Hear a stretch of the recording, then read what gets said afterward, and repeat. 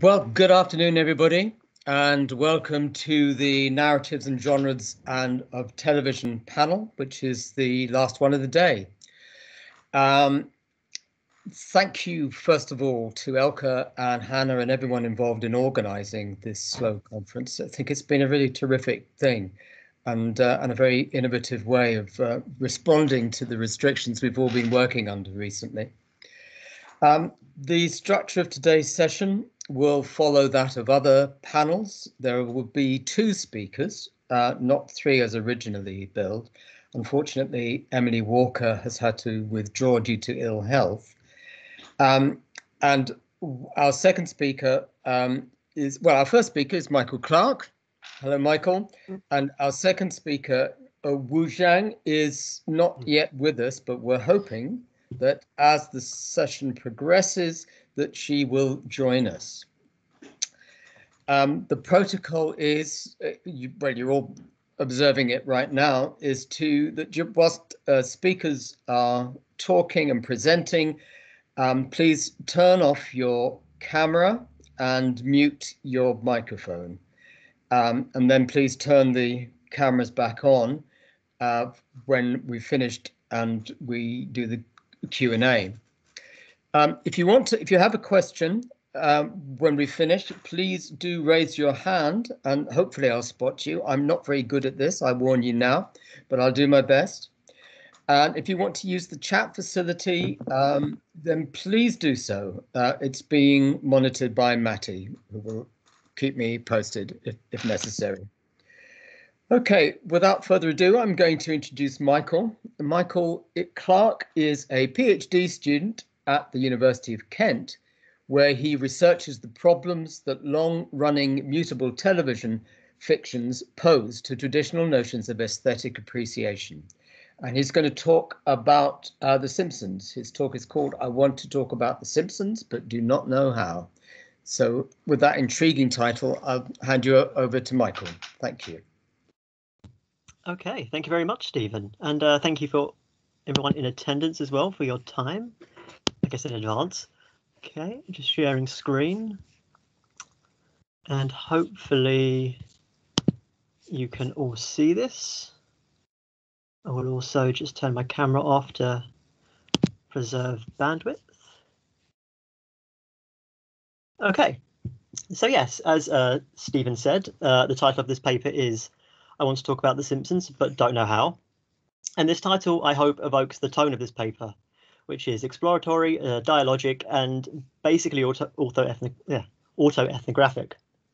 It's also metacritical in nature, as I want to discuss here a simple, uh, but I hope conceptually interesting challenge that I've encountered when trying to write evaluative, ev yeah, evaluative aesthetic criticism of a long-running, incoherent television narrative, about which I am highly ambivalent. In foregrounding evaluation in this way, I'm consciously aligning myself with the growing research project of television aesthetics. But while I acknowledge that this position is not uncontroversial within television studies, I don't claim to be doing anything provocative or radical here. Instead, I wish to speak honestly to and nuance slightly still unsettled notions of evaluation, which have persistently bothered television studies over the last few decades. And indeed, these notions have come, come up a few times uh, throughout this conference already which puts this paper very much in conversation with uh, James Walters and Rob Watts's papers uh, at the beginning of the conference, alongside the Quality Television panel uh, on Monday. I will also note at the top here that this paper is adapted from a chapter written for the forthcoming Moments in Television Substance and Style collection, edited by Jonathan Bignell and Sarah Cardwell, which I believe is due uh, next year. Okay, so are we going? There we are. Okay, so as I intend this to be more discursive in nature, I've organised this question, sorry, this paper around some broad questions that should help me elaborate on the challenges at hand. And these are as follows. What is The Simpsons? Why do I want to talk about it? How can this be done? And so what? Which is where I lead out from the specific issues that I raise here and try to tease out some broader implications of this discussion. Okay, so the first of these questions, what is The Simpsons, uh, seems like a fairly obvious one, but I'd still like to clarify precisely my object of inquiry here, because The Simpsons as a title refers to at least two things. The first of these is the ginormous multimedia, multi-billion dollar franchise that encompasses original shorts from the Tracey Ullman show and later shorts made in the last 10 years. Um, the Simpsons movie, the series, of course. Um, the Simpsons hit and run video games and, and others, and books and literature, and all attendant merchandise and paraphernalia and, and so on. And then the second thing The Simpsons refer to refers to is, of course, the program itself. This now this is a vast and incredibly long-running program that has, since it debuted on Fox in 1989, broken all sorts of records regarding its longevity, and particularly in the context of the United States, as you can see here. It's also been subject to widespread critical acclaim. Of course, it's still in production. It will in September uh, begin its 33rd season and already has a 34th season on order, keeping it on the air until 2023. It's on track to beat Last of the Summer Wine to become the longest running sitcom in terms of year on the air. And as you can see, it already has that accolade in terms of episodes produced. Although it's still some ways off becoming the longest running animated program ever, as the German uh, children's show uh, has clocked in over 22,000 episodes since 1959. Now, however, now the uh, Simpsons franchise constitutes a major part of Disney's portfolio following its acquisition of Fox in 2019, and the program serves as a crucial selling point of Disney Plus globally. There's every chance that new seasons will be ordered in perpetuity, allowing The Simpsons to perhaps surpass even that record, because of course, the mouse always wins. Now, all of this is to say that while these two things we refer to as The Simpsons are inextricably linked, as the program is a central part of the franchise, and the franchise a huge part of what's kept the program on the air. My object of inquiry here is the program as such, an exceptionally vast individual artwork. And to clarify, I use artwork here in a purely descriptive and not honorific sense. Okay. But why? To what end do I want to talk about The Simpsons? Well, there are two answers to this question. First, I would argue that there's a gap in the literature. Now, this might sound absurd to those of you familiar with this literature because, of course, a fair amount of work has been published about The Simpsons. However, scouting out this work reveals the majority of these studies come from other disciplines, as you can see on, on the slide here. This makes sense, being a hugely popular program that depicts and satirizes various facets of American cultural, political, and family life, and has done so for such a prolonged period, The Simpsons intersects with many areas of research. However, generally speaking, these studies are interested in The Simpsons only to the point that it offers an accessible entry point into other matters. And really, that's not what I'm so interested in myself. So, what about television studies? Well, as you can see here, there's been five books published, which is not an insubstantial amount. Uh, in terms of articles, uh, Critical Science in Television has published only one article that engages extensively with The Simpsons uh, by Joel Gwynne, which also considers King of the Hill. King of the Hill. Elsewhere, uh, Jason Mittell, Simone Knox, uh, Jonathan Gray, uh, Amy M. Davis, Gemma Gilboy, James Zborowski, and Greg Scharzer have already written about it as well. So even when just focusing on work from television studies, we're still left with a lot of writing about a lot of show. And this overview does not encompass everything either. So no, The Simpsons has not been embraced as enthusiastically within television studies as some dramatic serialized programs. It's nevertheless attracted a not insubstantial amount of interest, especially for an episodic animated comedy. So, given what I've just explained here, this begs a supplementary question of, well, what gap are you talking about here? What more could possibly be said? Well, within television studies, we can broadly distinguish between works that, like non-television studies work, consider The Simpsons as a cultural artifact that can speak to various facets of American culture. And then a much smaller group of works that focus on The Simpsons' com comedic strategies and usually satirical or postmodern functions. And this very much what uh, aligns with what Jason Mittell in Complex Television um, has written about in terms of uh, television studies being historically preoccupied with questions along the lines of what does this program mean and why does it matter and so, what is being canvassed in much of this scholarship is what The Simpsons can tell us, what it can teach us, and how it has functioned within particular historical and industrial contexts. And these questions are, of course, important and necessary.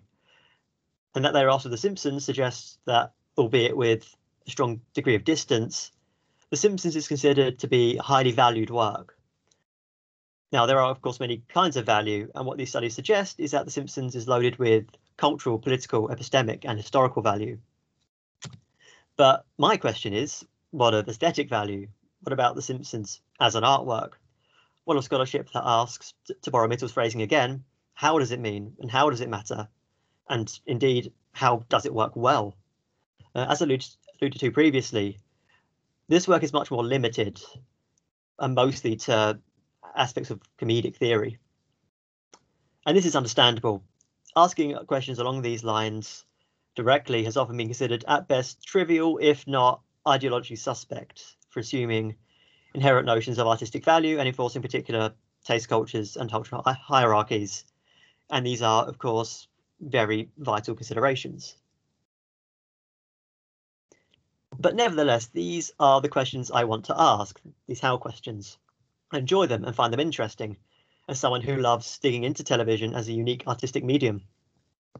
And I think when asking them sensitively and honestly, we do not worry about notions of enforcing cultural power. I subscribe to the notion of aesthetic criticism as a kind of travelogue through the myriad possibilities of television as an artistic medium, an invitation to see a program how an author sees it. It is an expressive, sorry, it is an expressive and persuasive practice rather than a demonstrative one. And of course, it accepts that a reader can be left unpersuaded. And moreover, as uh, Jason Jacobs has argued, uh, these various travelogues of various experience in television might contribute to a more robust and pluralistic understanding of the television medium and its potentialities. Now, of course, I don't think I'm saying much new here. The state of play within television studies has changed gradually over the last couple of decades, with television aesthetics growing into a more established subfield, where arguments along the lines of how do these things work uh, are being made more frequently. Um, however, The Simpsons, despite its critical and commercial success, has been largely overlooked within this aesthetic and evaluative turn in television studies. Therefore, I think there's a contribution to be made. Now, this desire to contribute brings me to the second and perhaps more pertinent reason why I want to talk about The Simpsons. I like it and I want to appreciate its many achievements. Now, uh, for the interests of time, I will limit this part of my discussion as I could go on forever here and this paper is more concerned with uh, method methodological questions. Um, I just wish to explain here my motivations in terms of my positionality in relation to the work. However, I've sketched some reasons on the PowerPoint, and I will stress these are just merely sketches. These aren't substantive claims. Um, but the gist is that it's it's a rich and I would say unfathomably imaginative work, a generously entertaining one, and as the various studies I alluded to previously suggest, one has a lot to say about the messy, the messy business of being alive. So to put it plainly, when asked, as we television scholars inevitably are, about my favourite programme, I'll say it's The Simpsons. And now with this, I don't mean to impose any universal criteria like these uh, reasons I've sketched out, and by no means a universal criteria, or I don't mean to posit The Simpsons as quality television. I've been trying to consciously avoid that term because I find it too loaded and not of much use analytically in this context. Uh, what I mean to say is that, uh, to use Sarah Cardwell's distinction, uh, I take The Simpsons to be good television, or more precisely, good television comedy, which I experience positively for the reasons canvassed here and more. And yeah, and, and on the more, I mean, this is where I'm particularly missing the post-conference bar experience because this would be a good bar chat. Anyway, okay. So now I've established what it is I want to talk about and why, the question then becomes one of how I might go about this. How might I discuss the how of The Simpsons? Now, a broadly accepted method for this, that again we'll briefly sketch here in the interest of time, involves attending to aspects of form and narrative via moments, which is something that James Walters uh, discussed in his paper at the conference. Now, this isn't necessarily a vague unit of appreciation that's in the eye of the beholder. It could be a, a shot, a scene, something within a scene. It could be whatever you make of it but the intention is that it can magnify or bring into sharp relief or somehow represent a particular aspect of the whole program.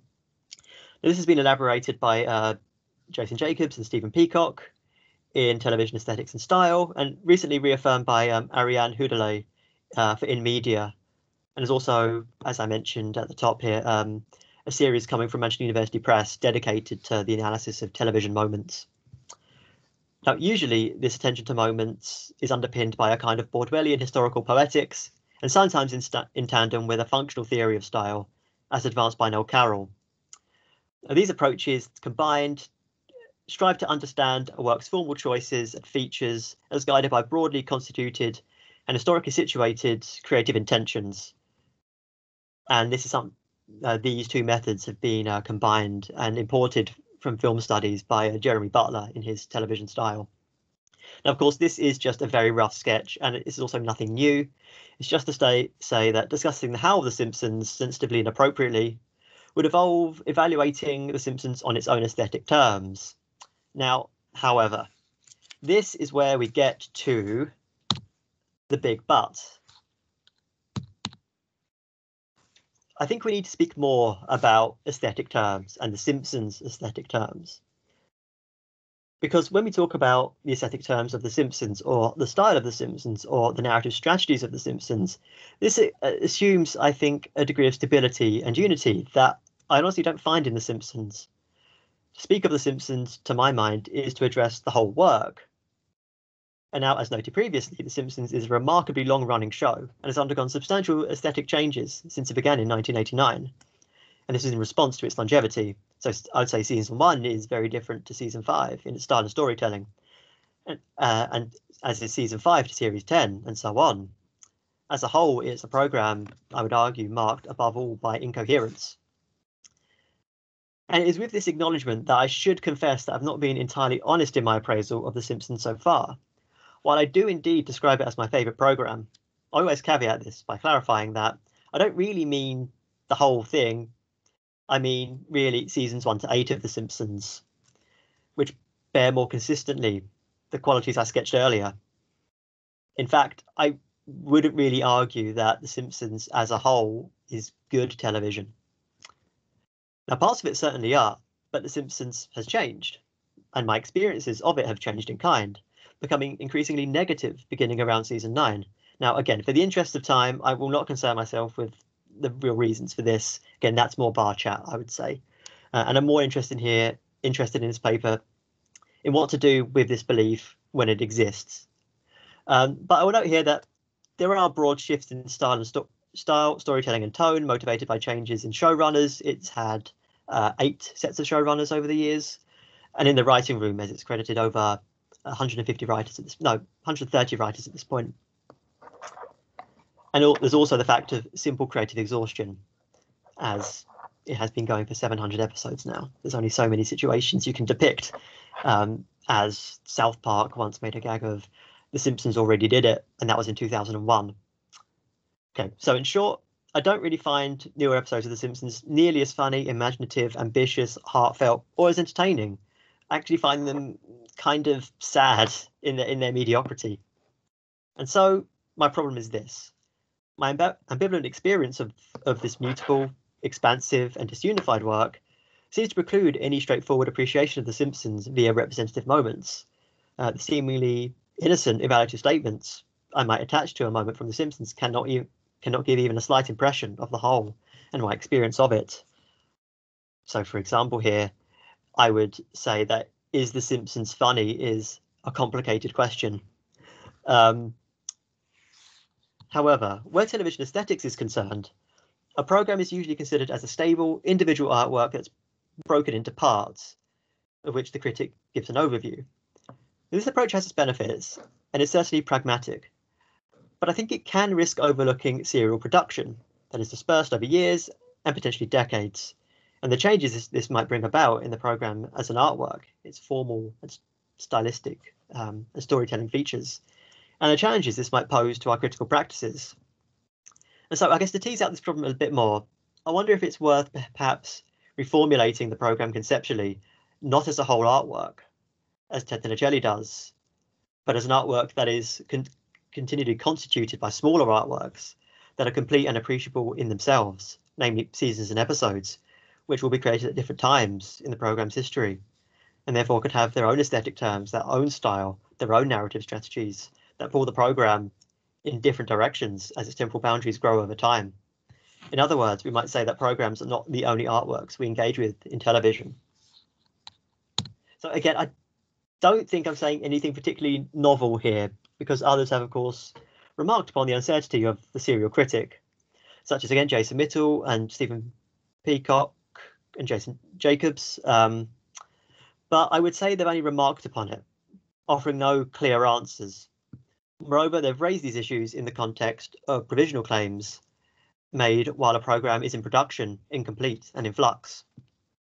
Now, though The Simpsons is in production still, um, this is incidental to my problem because where The Simpsons might go to me is less important than where than where it is already gone and how this has affected my evaluation. And Mittell has also interestingly broached the notion of critical devaluation, um, but only in terms of a program that he doesn't like, which is Mad Men. Um, but what if what you like and what you don't like are technically one and the same? That question isn't so clear and hasn't been addressed yet. Now, granted, this has been covered in fan studies by Henry Jenkins about Beauty and the Beast, Alan McKee about Doctor Who, Rebecca Williams about, well, all sorts, but mostly The West Wing, and Paul Booth, um, just in a general sense, among others. But of course, this comes with, with an observational distance, whereas I'm more interested uh, in this notion of falling out of love with a show in terms of what it might mean for a critical practice premised on evaluation. Now, to my mind, fan studies and television aesthetics can be construed as two sides of the same coin, involving themselves in knotty questions of how people can and do engage with television artworks. The former takes an external point of view, whereas the latter an internal one. And it is a shame then that television aesthetics, when trying to build a medium profile through, through criticism, has not really followed fan studies in addressing this more contingent and provisional and mutable form of evaluation. Now, instead, it is largely disregarded what I argue is this fundamental aspect of engaging with and appreciating television artworks, this potential for change and a falling out of love with the program. I mean, I'm sure this is something that everybody in the room and watching on YouTube has experienced. We've all fallen out of love with or been disappointed by or just fallen away from a program. Thus, despite its devotion to issues of judgment and value to repurpose the name of uh, Jason Jacobs' famous contribution to the field, television aesthetics has still quite a polarized understanding of value where things are good or they're bad, which I think might hold it back. And incidentally, this is something that Paul Booth has argued of fan studies. Now, I realize I'm near the end of my time here, and so by way of conclusion, I just want to quickly reflect on the options that seem available to me at the moment within the state of play, and then just make a quick, modest proposal. Now, I could just disregard these changes and write about The Simpsons anyway. Um, and this is a strategy that I will say some people have taken, it seems. If you look at the episodes they're selecting and the moments, they tend to be in that uh, season one to eight bracket. However, if we're striving for an honest and reflective critical practice here, this is undesirable as it would be misrepresent, misrepresenting the whole work as I've experienced it. Okay, well, instead, then I could accept that The Simpsons is simply too unwieldy an object of appreciation and focus instead on other programs. But that would be a shame. To my mind, the achievements of The Simpsons' earlier seasons are still achievements in the art of television, irrespective of the program's later decline. Why should they go un- unappreciated? Or, to make this modest proposal that I've teased, I could at least be honest about this in my critical travel log. I could move beyond the program as a whole and draw the limits of my journey more clearly. Same even explicitly, what my object, so even more explicitly, what the object of my inquiry is, and that I don't really want to talk about The Simpsons. Now my journey ends with season, season nine. And to my mind, this would still contribute to the research project of television aesthetics by granting attention to fundamental aspects of how television artworks are made over time and how we engage with and evaluate them also over time. And this could open up works that might otherwise be disregarded by television aesthetics, like The Simpsons, as attention has, until this point, usually been paid to serialized work that seem to exhibit a strong degree of coherence or unity. And this in turn would create a, a richer, more diverse reflection of the messy thing that we call television. And that's it. It's an ending. That's enough.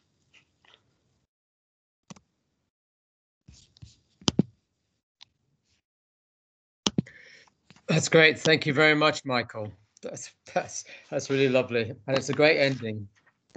Thank you. Yes. Oh, can you see me? Um, right. I'm very pleased to say that Yu Zhang has joined us, and um, so I'm going to go over to her now and uh, introduce her and we'll take her paper and then we'll return to questions at the end. Okay. Hello, you, are you there?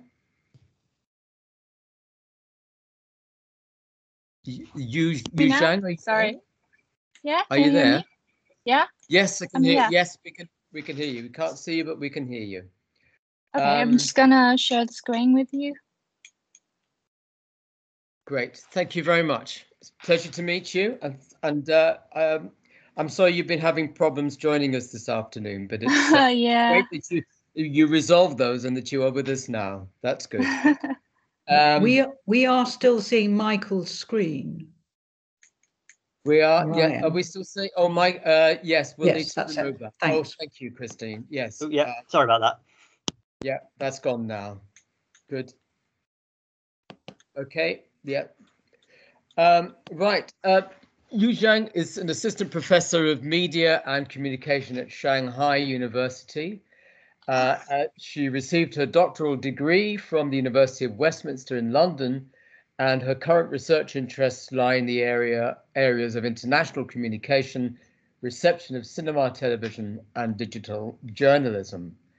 Um, you, you is going to talk to us today about uh, cultural homogenization or narrative transparency question mark a case study of the dating show in east africa hello mr wright what a great Yeah. title for a dating Uh, I, I, I still have this technical problem that I have to ask for help that I couldn't share my PPT, the, the slides Okay. with you. I don't know what is happening here. okay let's uh, do we have um and some technical assistants who might be able to offer you some um some some support or advice So I, I clicked the button to share the screen and uh, there's some options there, but uh, there's no PowerPoint. I don't know. Is this because Um, uh, it's a Mac system? So did you uh, press the sorry press the upwards arrow in the little white box in the top Yeah. right hand? Yeah, and yeah, what yeah. are the what are the options that you're seeing? Uh, I'm seeing um, the Microsoft Team chat and uh, the, a PDF of Critical Studies in, in television, the program, and that's So you're it. not but I still have, yeah, no, You're not seeing a win- window on the right hand side of that. yeah, I saw the window. Uh, there's only like Yeah. those two options. One is the Macro Team chat, another is the PDF. Okay, and the you don't have your PowerPoint open. I mean, I assume you have your PowerPoint open already. Yeah, Yes, it's it opened already. Okay, right. What I'm going to suggest is that you email it to me and I'll share it. Okay, sure. Uh, I send you um an earlier version. I changed it a little bit. I'm just gonna send you the updated one. Apologies, everyone, for the hitch. These That's things all right, happen online, don't they? Sorry. They do indeed. There's bound to be one problem, so don't worry. Just a second. Okay. It's loading. takes a few seconds. While we're waiting, I will go ahead and share the program that I fell out of love with um, Mm. vis-a-vis my um, uh, Michael's paper. It was Dexter, and it was a very, very swift falling out of love. It was like a very bitter and acrimonious breakup with that program. Was it just like a like an episode that just It was Turned it you was on it? some it was something that I can't actually tell you about because it would be a horrible spoiler for the Ah. series if anybody who hasn't seen it. But if you do know the series, I'm sure you'll know the moment that I'm talking about. And that was it for me. Okay. Yeah, it's done. Yeah.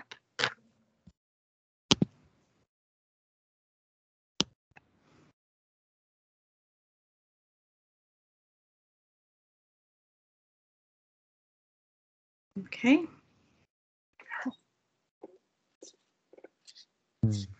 I believe so, yeah, although I don't really understand why or how. Money.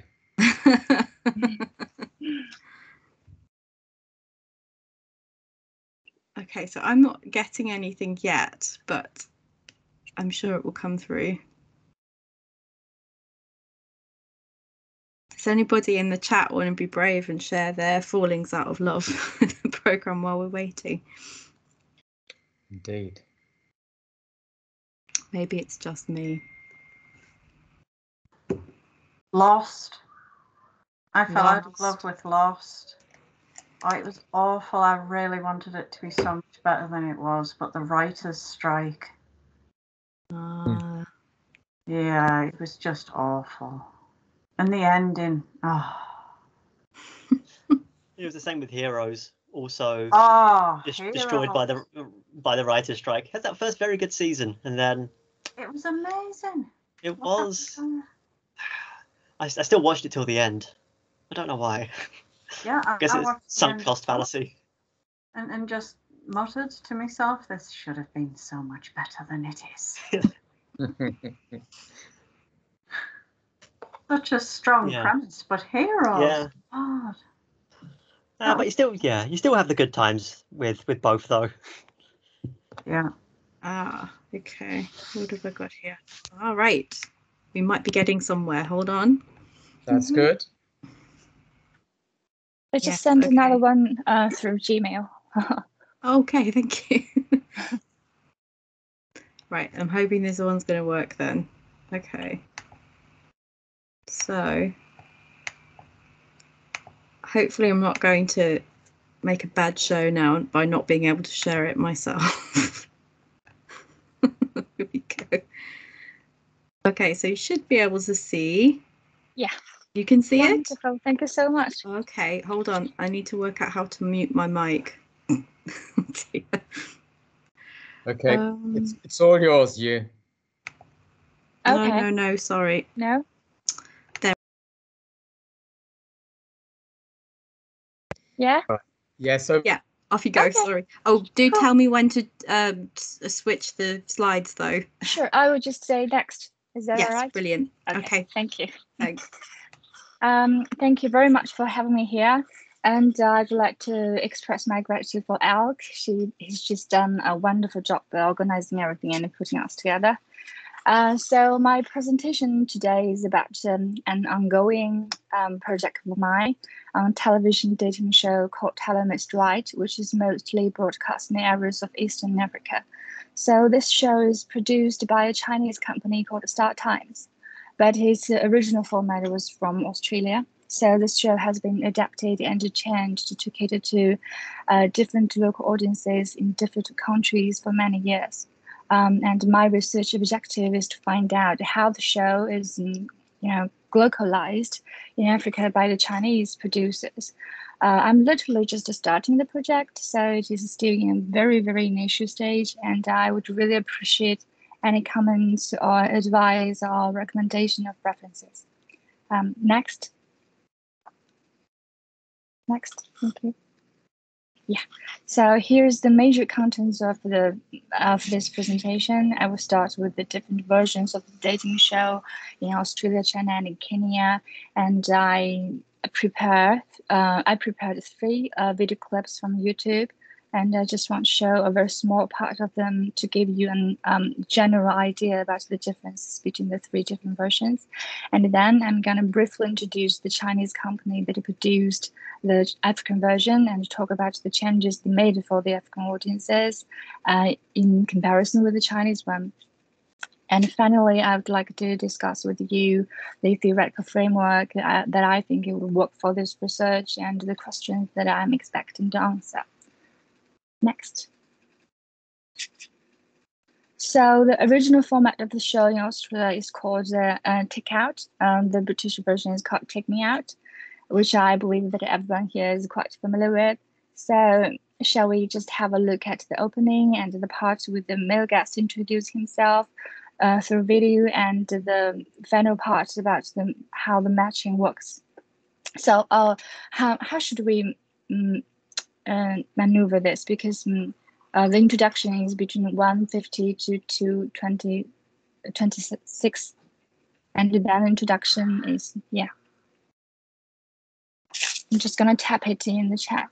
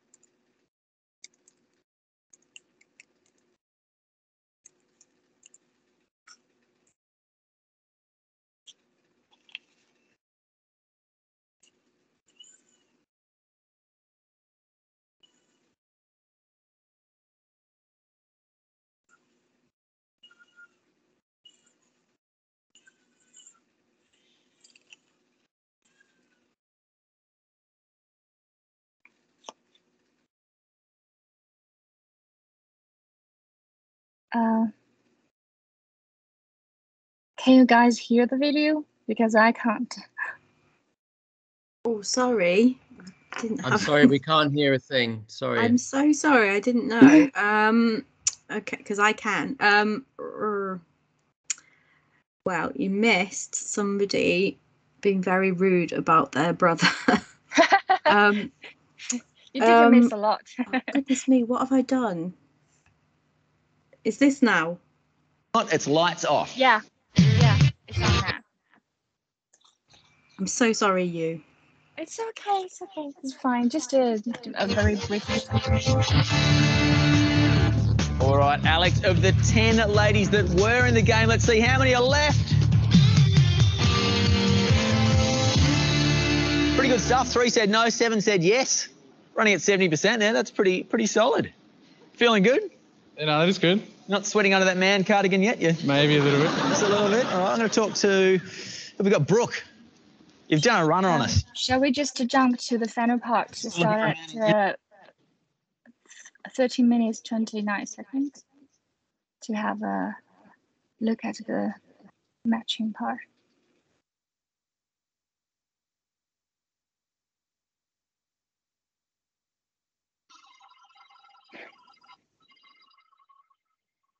I'm sorry. I got a message on. Uh, can't hear it. yeah, I got a message on Teams saying they were going to stop sharing my audio, and I don't know why it's done that. Would you like to take Palatina on a date tonight? Of course, definitely will. Palatina, come up. Why does it keep doing this? We got one. We a date. This is beautiful. So how are you feeling? You've uh, you've bagged him in the end. Yes, you've got one. Good stuff. Pretty stoked, Alex. I am. Excellent. Looking forward to tonight. All right, we're going to uh, ship you guys off to have a beautiful evening together. Head up the stairs and uh, get stuck into your night. Thank you. Alex Palatina.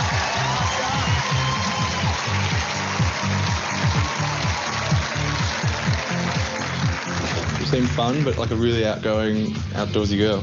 This guy's cool, so yeah, I've kind of got to catch here. I'm expecting the date to be a bit awkward, but I'm sure we'll get over it and have fun. Yeah, I'm really keen to go out on a date with Alex and to see a bit more about him and see if he talks a little bit more. I definitely don't kiss girls on the first date, and Palatina won't be an exception to this. Yeah, I'd kiss him. Yeah, Very hard to know how yeah, I think it's yeah, going to we be. can just uh, stop here. Yeah. Great. So the next slide, please. But you can't really tell. So Alex got date. Let's see how the Chinese guy is doing. So the um, Chinese version it came into China about two years after the original show in uh, Australia started. I remember when the show first came out um, in 2010. I was a junior in college, and it was like a huge thing in China um, because um, dating or matching has never been televised in such an entertaining and a con- controversial way before. Um, there are also some very apparent changes made in this version. So let's just have a look at it. I'm just gonna tap the the uh, the, the the time period that I think you, uh, that I want to show show you guys. Is that all right in the chat?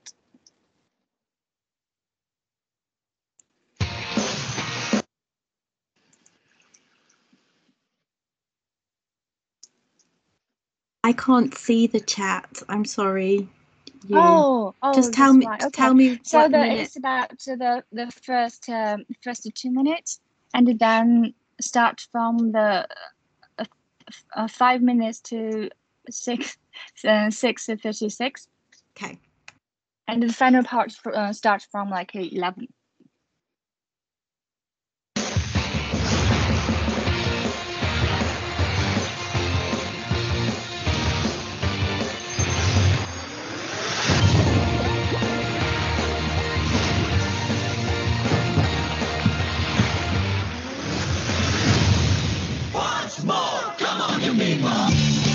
欢迎来到江苏卫视步步高 vivo 智能手机《非诚勿扰》，有请主持人孟非。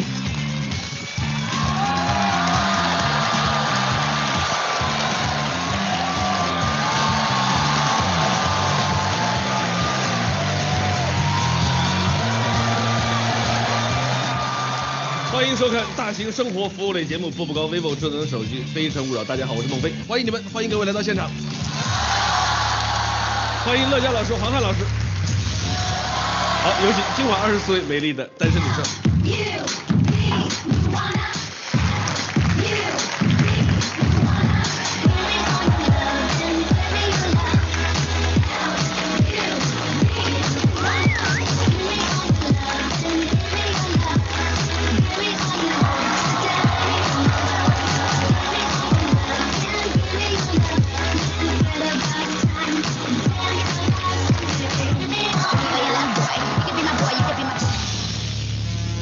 二十四位女生，欢迎你们，请亮灯。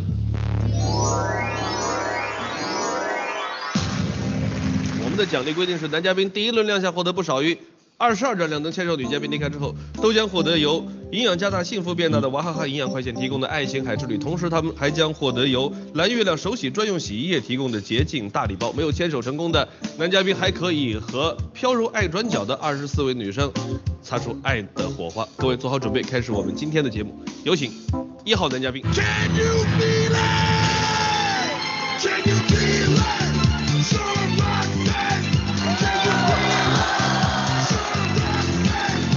大家好，我是水清，我要来了。呃，三位老师好，现场的观众朋友们。后来 Was it about five minutes? Yeah. Yeah, yeah.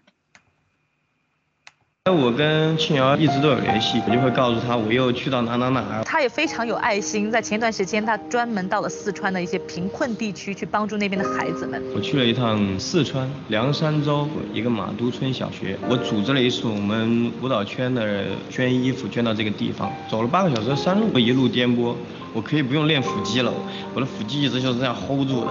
但我过去之后，其实让我自己感觉很震撼。他们那边没有厨房，很 The final person at 11 minutes. 地方六号刘登表明他愿意跟你走，如果你愿意过去牵他手从这儿离开，如果不愿意表示感谢之后你自己走，想清楚告诉我们决定。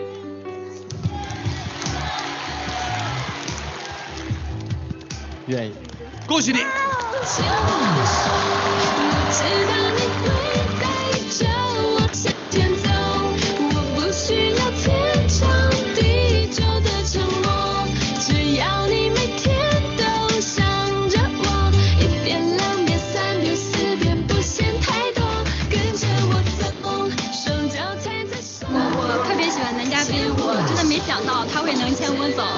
呃，我现在就是特别激动。我为你留灯了之后，你为什么想了一两分钟才才做考虑呢？呃，因为我在想，我以后如果去到山区的话，其实是很艰苦的，所以我在想，您有没有真的做好这方面的准备？你有这种勇气，愿意去陪着我去去到这些地方，说明呃你骨子里面其实是很善良。上一次呢是以坚持了我的心动女生，然后以失败而告终，这一次终于牵我成功了，所以呢我还心里是非常 that's about it. Um, next slide, please. So, um, uh, the Chinese guy ended up with a date too. So the Chinese version tends to make things more serious, as you can see, and it usually takes a lot of good qualities for the male guest to be picked, as we see in the example that this guy has to be like he's a dancer, he has like a fit body, and he has this very high morality about uh, giving charities to poor kids and everything. So, um, and it's more than just picking an interesting guy to date. Uh, both of them are considering. I think um, they were thinking a lot about: uh, Are you ready to uh, help me with my charity career or stuff like that? And uh, most of female guests are actually setting a very high standard to find out, uh, like a future husband. But the African version, which is mm, uh, the subject of my research, it is, although produced by Chinese, um, it seems quite relaxed and it does not carry so much social and moral responsibilities as the Chinese version does. So um, let's have a look at the opening, introduction, and the final. So the the the opening is the first um, one minute, and the introduction is from three minute to uh, three thirty.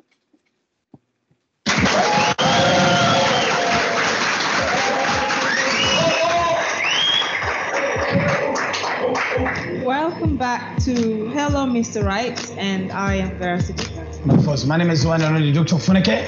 And of course, we are joined uh, from a previous previous episode. Uh, we had Evelyn, of course, she is back again. Like she didn't lose hope. She still wants to get her Mr. White, of course, hoping that this time you will get lucky, right? I'm hoping so. Thank you so much. Welcome to the show again. Thank you. Thank you so much, Vera. Yes. Please take a walk. You ready? Yes. Mr. White? Yes. Bring it on. Okay, Mr. Right is coming up in two, three, one.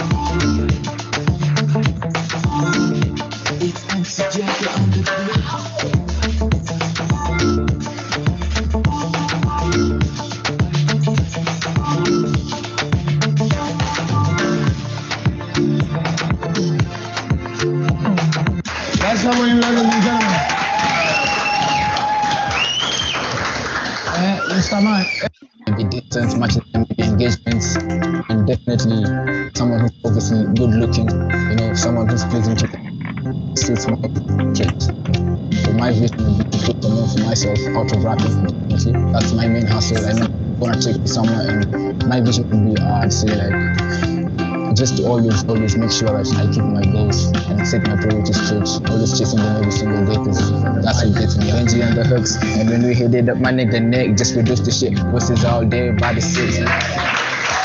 And uh, the final part is from 12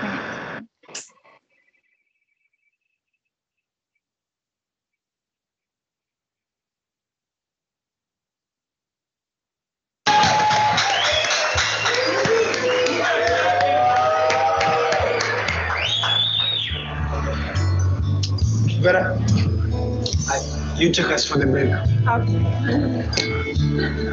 So how are you feeling? I'm too too happy. I'm ecstatic. She's the one you wanted, right? Definitely. Aww, One look in at a her, she's looking at you.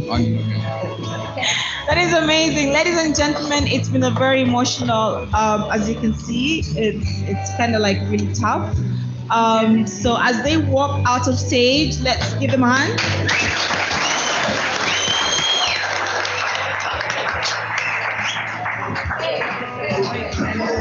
Right back out after the break.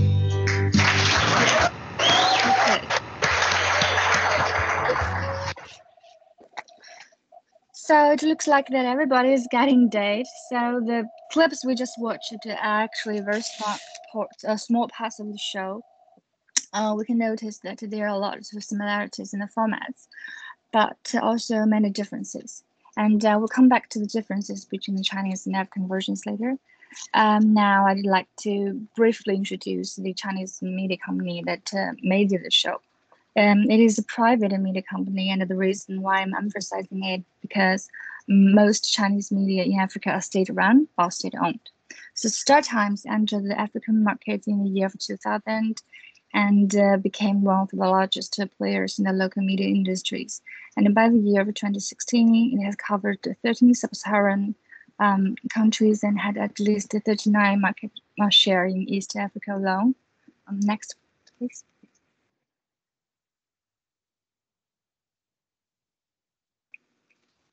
and uh, it is expanding its territory by carrying out, carrying out uh, the Chinese government's aid project of um, bringing digital media to 10,000 rural villages in Africa. And the project is um, almost coming to an end, uh, which means that the start time is really spreading into almost every corner of the continent.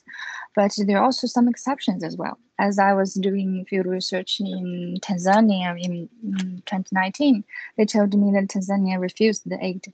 So, uh, sorry, next page. So the essential business of StarTimes for now is still selling TV boxes with the paid content, including news, sports, and dramas. It is actually increase, increasing the portion of the imported uh, Chinese content, such as movies, reality shows, and so on. And uh, Star Time is also producing its own media content. Um, next slide, please.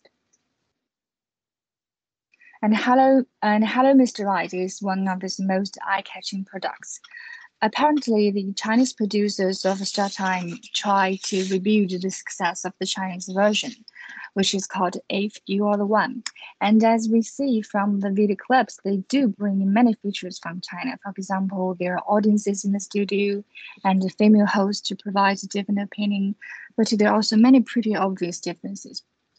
Uh, next.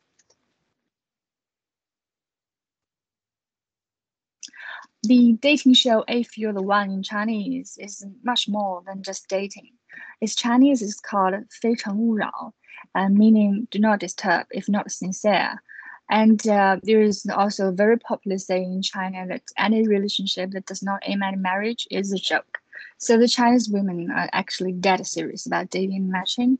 So the show, if you're the one who somehow engaged with a lot of uh, like cultural and social topics such as marriage freedom, uh, conjugal relations, gender inequality, and etc., and it is one of the major reasons why it became so popular 10 years ago. Back then, uh, the reality show in China is not as developed as it is now, and um, there was no platform for people to discuss publicly about private matters such as marriage and intimate relations in an entertaining way. So if you're the one carries the social responsibilities to navigate public opinions. Next, please. And we know how cautious the Chinese government is when it comes to how the public thinks. So very soon after the show went viral, there was a professor from the party school. If we pay uh, close attention to the video, we would notice that uh, there is a female uh, sitting by the stage.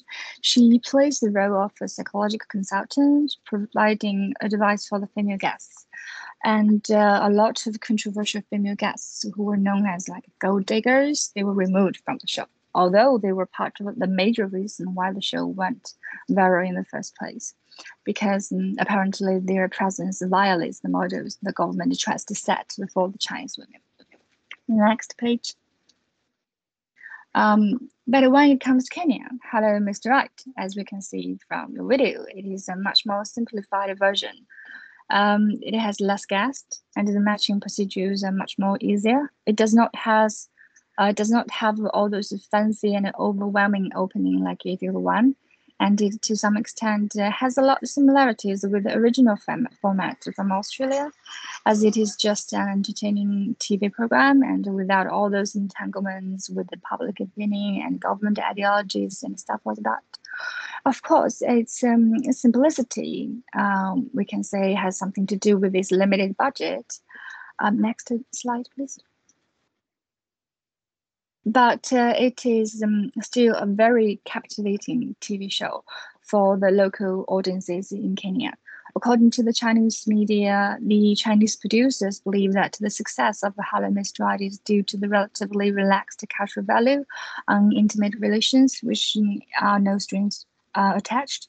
So the atmosphere of the show is much more like everyday life with no prepared script or design. At least that's what they say. So next slide.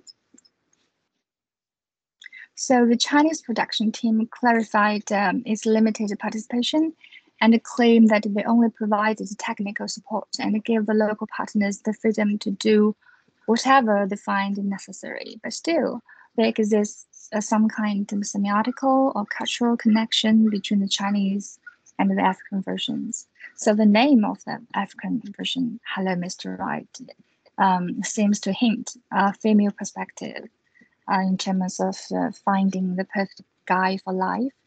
And uh, the clip we just watched has a title says that uh, there was this female guest who was so heartbroken that he burst in tears, and because she was not picked. And and the logic behind all of these dramas and the settings made me wonder about the substance of the show. Um, next.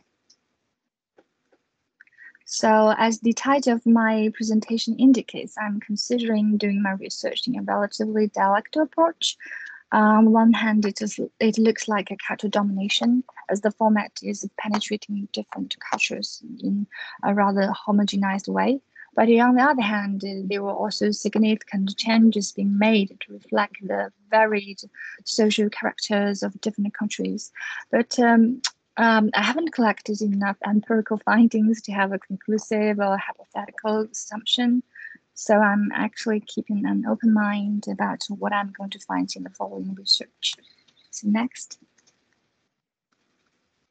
And the two research questions that I want to address are, does the format, especially the Chinese one, propose a specific imagination about a romantic relationship? And does this imagination dominate the African version, or is it a resolved by the local culture? Next. Uh, so this is my basic idea about the this topic, and uh, here's the references for this presentation. And the last uh, slide, please.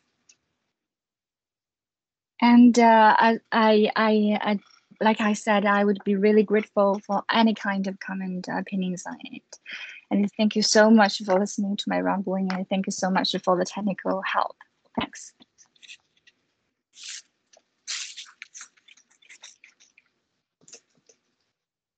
Thank you very much indeed, you. That that was really interesting and well done for ploughing on through the technical difficulties.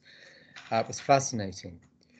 Thank you. Um, we we're, we're now at the point where we can open up for discussion um, and quest and Q and A. So do we? Yes, thank you. We brought Michael back. That's good, and Hannah too.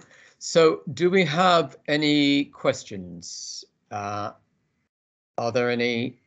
Christine? Christine? Uh, uh, I can see your face. Are you? Sorry, yes. I was just turning my camera on, really, but uh, I'll give it oh, a go right, anyway. Okay. No, that's fine.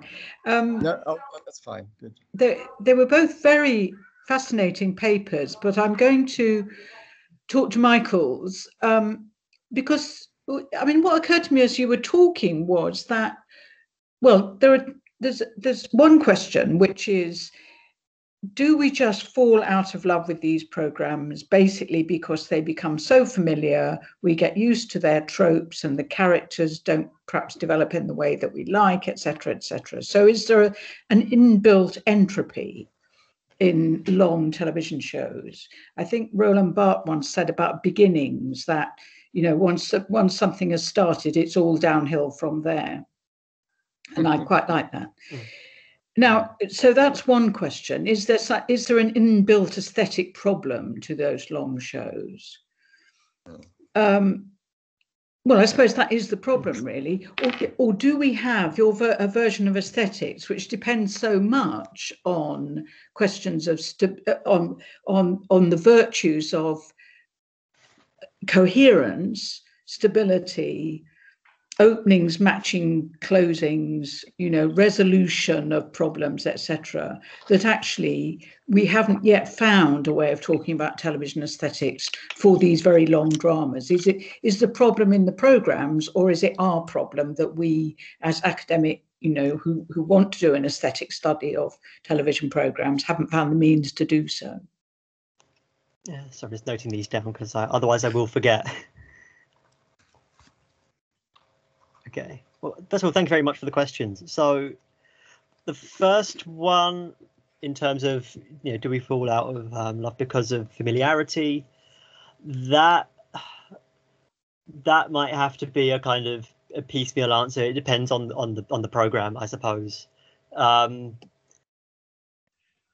the the curious thing about The Simpsons, um, which I didn't really mention in in the presentation because there was a lot going on a lot, to condense in there is that the simpsons really i think for a lot of people and myself included didn't really become the simpsons until around season two or three anyway. You know it was it's sort of um, a process of finding its voice and then it sort of settled on a voice but then it was sort of these, these consistent mod- modulations i suppose. Uh, this especially as uh, early on it had uh, different showrunners every two years who had kind of different visions of what the show is and you can sort of see you know these various adjustments of expectations and what the show is doing in its formal strategies. Um, so, whether it could continue doing that beyond a certain point is, is another question. I think that that's maybe more of a, yeah. a crea- creative issue um, because I think, especially for a family sitcom, even if it's sort of unbounded by um, you know, photographic representation, you know, because, because it's animated. Um, it's there are still only so many things you can do that are fresh and innovative.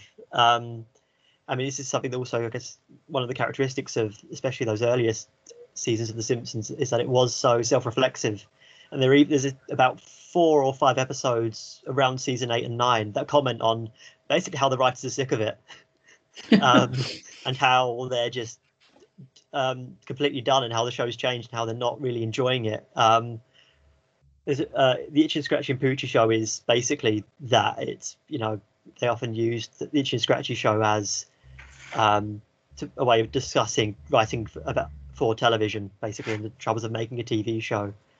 Um, uh, and yeah, so in terms of familiarity, I yeah I I think again the Simpsons because it is so long running, it is a unique example. But say if you look at something like Game of Thrones, which I was tempted to mention because of the sort of very vociferous reaction to that, that is more self-contained and serialized, and I don't think that was a problem of familiarity.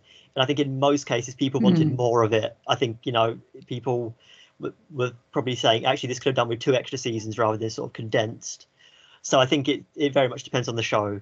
Um, and the, the question of unity and stability and whether this is our problem or whether it's the show's, eh, I'm more inclined to say it's our problem.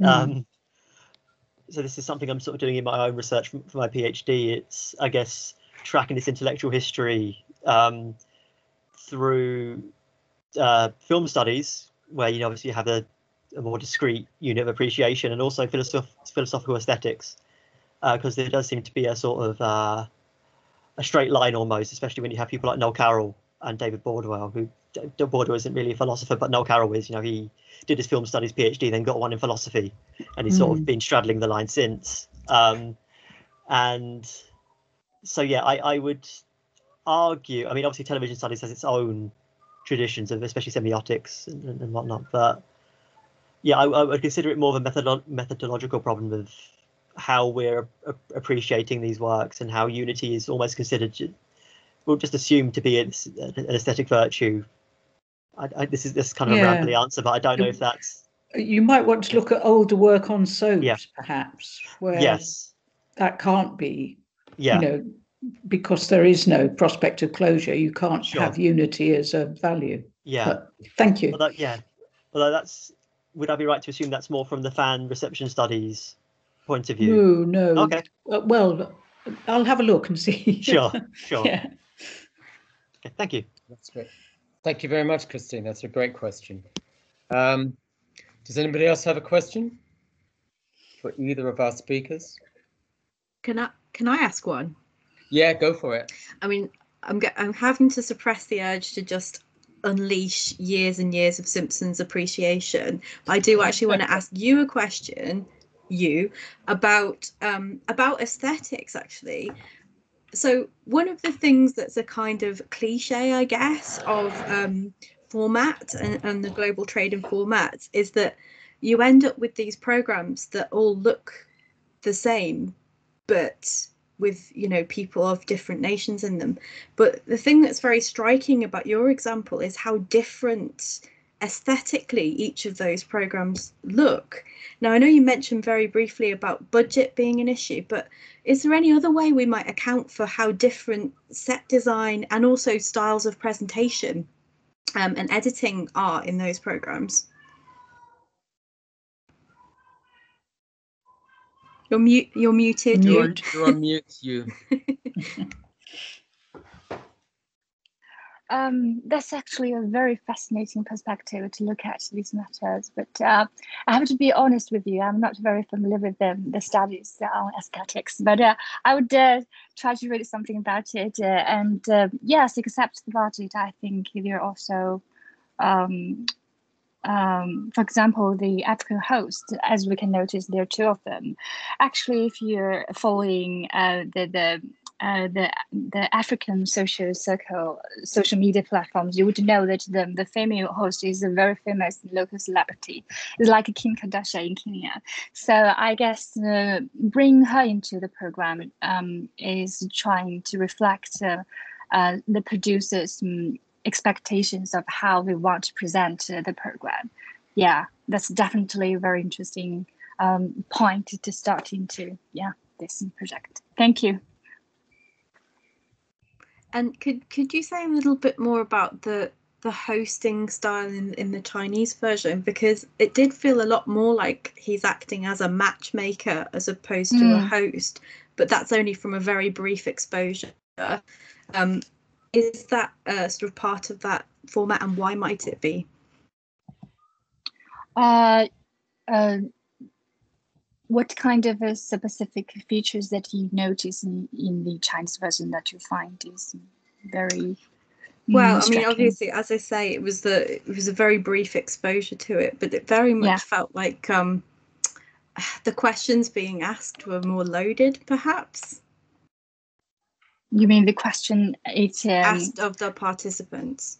Ah, uh, yeah, it was just um, um, it was. I think I guess yeah, um, China in China, you don't have a lot of public sphere to discuss this kind of things. So the TV program um, um, created this room for people to uh, put on all this kind of social matters on it. Um, that's why the host tend to ask very serious questions. So does the female guest. They want to, you know, I, I, I don't know if you you're familiar with the Chinese context, we in recent years there was this popular, very catching phrase called uh, positive energy, 正能量. Like uh, everybody is spreading positive energy because you know you want a country to be, you know, stronger, stuff like that. So the host and the female guest and everything they're trying to do is build up this kind of uh, models. So all those kind of questions is around um, that kind of ideology. Mm-hmm. Thank you. You're welcome. Thank you, Hannah, for your question. Um, does anybody else have any questions? Am I missing anything? And I see no hands. and uh, and I, there's nothing striking me from the chat room, so perhaps there aren't any questions. Um, I, I, any more questions? I, I had a just a, a kind of a, an observation, which um, you, but more than, which is not not so much a question, which is that mm -hmm. um, the the East African program, it's aesthetic. You, which this is one reason why the the um, looking at aesthetics might help, is that the the the aesthetics of the East African program seem to be a little more raw you, you know, yeah, there's, yeah, there's yeah, something sure. um, there's something a little rougher about it. And I don't Mhm. mean that in an, an evaluative sense, because you know rawness can be very immediate, um, and the and much less managed. You know, Mm. the audience appeared to be closer, you know, much closer to the maybe Yeah, that's the stage, the camera yeah. was, much closer Mm. to the stage. And Mm. there's one moment where I thought they might actually stand up and join in. You know, they're very crammed in. Yeah. It's mostly men. Very possible, I think yeah. it's a very male audience. It looked like, Mhm. and perhaps Mhm. I, I I'm just mis, misread it, but it looked like a Mm. very male audience. So I want this. Mm. It creates quite an interesting dynamic, really. So there's, I think there's quite a lot that you can you can get from looking at the different styles and designs and manipulation of space between the different uh, Mm. versions. Yeah, Yeah, sure. Yeah, thank No, you. that's great. It's great. Uh, really interesting. Um, yeah. Okay. I, uh, I, I, I haven't got any more questions or observations. Does anybody else want want to jump in at this point? No. Yeah. Okay. Um, then please It's let good me. I, because I hear my baby is crying, so I Oh, probably right. have to oh, well, it's a perfect point. yeah. okay. Thank you so well, thank much. you both very much indeed for your for your papers. They've been really interesting, and uh, I look forward to to maybe hearing more about the research in due course for both of you. Sure, sure. Thank you, and thank you very much for attending, everyone, at the tail end of the afternoon. So thank you all, and thanks to Hannah and uh, and her colleagues um, at Edge Hill for for for making this happen. So thank you very much. Goodbye. Thank you. Bye Thank you. bye.